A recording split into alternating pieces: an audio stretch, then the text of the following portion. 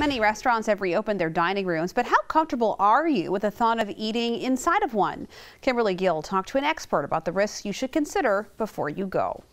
There are a few things to think about. One is just if you can eat outdoors, that's going to be safer than indoors. And the, the nice uh, weather right now, there are some restaurants with outdoor seating. If you can't eat outdoors, you need to look at how effectively the restaurant is maintaining that social distance, says Dr. Preeti Malani how open does it feel? Does it feel like it's too crowded? In that case, probably it probably is.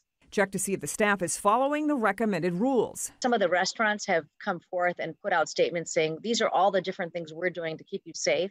So certainly take a look at that. You can also look at what the other diners are doing. Obviously, if you are eating, you can't wear a mask yourself, but is, are other people around you, including those who are serving your food and, and uh, walking you to your table, are they wearing masks? But understand dining in is not the best idea for everyone. For folks that really are not comfortable eating out, curbside pickup and delivery options are going to be there.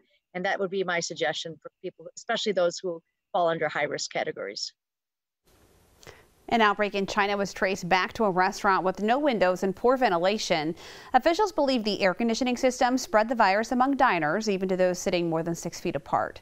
Dr. Malani says every activity we do will carry some level of risk, and it is up to us to decide what level of risk is acceptable.